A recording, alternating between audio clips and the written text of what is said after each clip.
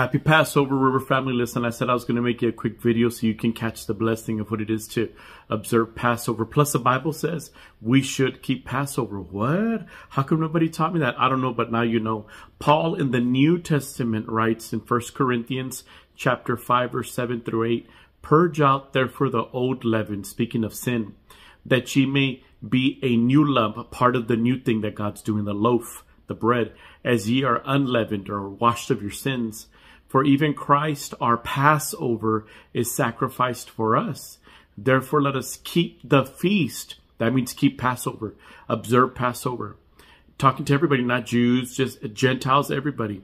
Not with old leaven, neither with the leaven of malice and wickedness, but with the unleavened bread of sincerity and truth. In other words, observe Passover, understanding what it is to be a believer in Christ. And uh, one of the things you're going to see on the on the table in Passover is going to be a Seder plate. Uh, you'll also see like a plate like this. It says matzah in Hebrew. There you go, matzah. And uh, this is our, our matzah plate. And you have different types of plates here in this house. We got like four different types of Seder plates. That's one of them. And we have this one. And, and then we have another one. And there's six slots in these plates. You'll see six slots. You see six slots. Each slot has an ingredient. And I just want to explain to you what those ingredients are real quick. And you'll have these notes. You'll have the link just like you do. I made your notes so you can go back. Number one, it has bitter herbs. In the Old Testament, the bitter herbs symbolize the harshness of slavery. And in the New Testament, it symbolizes the life that we live in the world because nothing in the world is good. It's bitter. Even when you come to Christ, you're going to see it was bitter. Then you have the sweet paste or the they get apples and cinnamon. Sometimes it's in the shape of little squares like when the Jews were made to make bricks. Sometimes it's like paste to represent the mortar. The sweet mixture of the fruit and sometimes they add nuts or wine to it represents the mortar when they were making bricks in Egypt. And the sweetness represents hope because even when you serve God and you go through bitterness, there's always a hope. The Jews were hoping for a Messiah. The New Testament understanding is that we have sweetness when we have Christ. And sometimes we're going to have a little bitterness, but it's worth it because we have hope in Jesus. Another element, so that's two elements. We went over the bitter herbs on the plate. We went over the, the apples and cinnamon or the sweet paste. The third is a vegetable. It could be lettuce, spinach, it could be parsley, and they dip it in salt water because it represents the tears of being in slavery. And in the New Testament, it represents baptism in Christianity. You let you set those tears back that you used to cry in the world, but now you get tears of joy in Jesus. The other ingredient is the shank bone from a lamb. Jesus is a lamb. The lamb had to be roasted. Jesus took the heat, the judgment for us on the cross, and that's what that represents in the Old and the New Testament. They had to do eat a lamb, and in the New Testament, it represents Jesus. Then you have a roasted egg. A roasted egg just represented bringing an animal, you know, the like a baby, like an embryo, to the temple for sacrifice. In the New Testament, we see that it represents new life, resurrection in Jesus. Then another one was another bitter herb that you had on there, which could be uh, a romaine lettuce. It's a symbol of the harshness of slavery, kind of like another herb I just talked about. And for us, it symbolizes, it reinforces the bitterness of sin and suffering for Christ. And I always think about it like three P's because you have three bitter things on there. You have the herbs and um and one of those is horseradish, I'm sorry.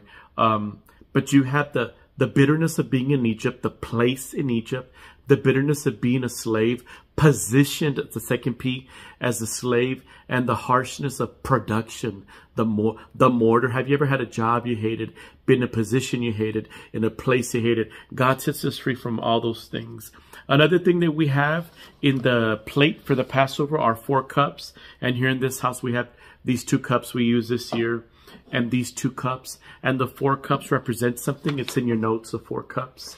And I, I begin to conclude with this. One, the first cup is called the cup of sanctification. And God says, and it's based out of Exodus chapter 6, verses 6 and 7. God says, I'm going to bring you out from the burdens of Egypt. So God begins to sanctify us and he begins to purify us. And uh, for Christians, the cup can signify the signify or symbolize the sanctification we go through in Christ. Amen. Then we have the cup of deliverance as the second cup. God says, I will rescue you from their bondage. It's hard enough to have your own bondage, to be dealing with somebody else's bondage in your life, you need to, you need God to set you free from that. Sometimes people bring their problems to you and they need to take them to Jesus. Amen. The New Testament understanding is that Jesus Christ is our deliverer. Amen. Stop looking for people to set you free. Only God can set you free in the name of Jesus. Number three is the cup of redemption. God says, I will redeem you with an outstretched arm. You're not so far that God can't reach you. His arm can reach you. In the New Testament, it speaks to how Christians, it symbolizes a redemption through the through the cross and the crucifixion of Jesus. And even in the Last Supper, Jesus said in Matthew 26, 28, My blood is the blood of the covenant, which is poured out for many for the forgiveness of sins. He delivers us from sin. He redeems us from sin.